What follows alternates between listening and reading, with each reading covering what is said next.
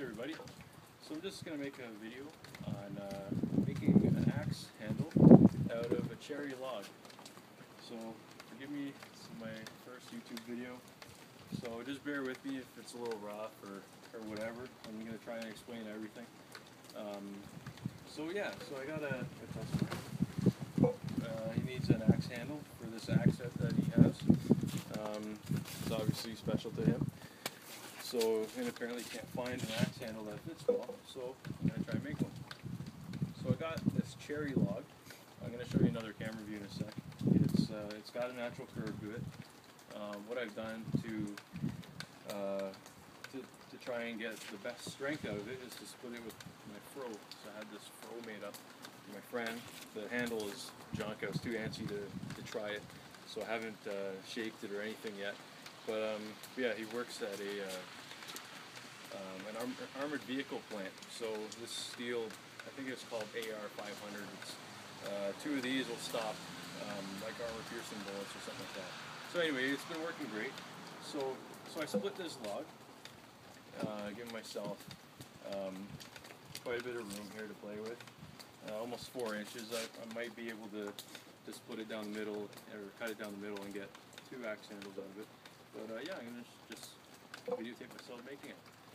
So, um, yeah, anyways, uh, splitting it, that was a challenge. But basically, just started by drawing some square lines, pounding the froe in. Uh, I had to beat the crap out of it to get it in, and it really took a lot to uh, to to split it. But then um, there was a little bit of a, a bump, so I I brushed it down with my chainsaw a bit and it's almost almost perfectly flat.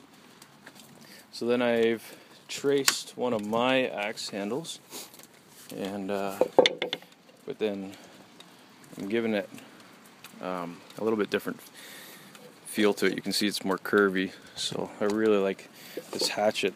I really like that um, the style of handle. So I'm gonna kind of recreate that here. So you can see, or you can kind of see that the curve of the log. So I'm going to just do my best to utilize that. And so yeah, I think by splitting it rather than milling it, I think you get uh, more strength out of the wood because um, you're just keeping all the grain intact. I'm almost done making my shave horse, so I'm going to try and uh, once I got this cut out, I'm going to um, take my or take it to my shave horse and and draw knife it uh, just as traditional as I can, uh, using traditional methods, and, and we'll see how it turns out. So this is part one of my cherry log uh, axe handle.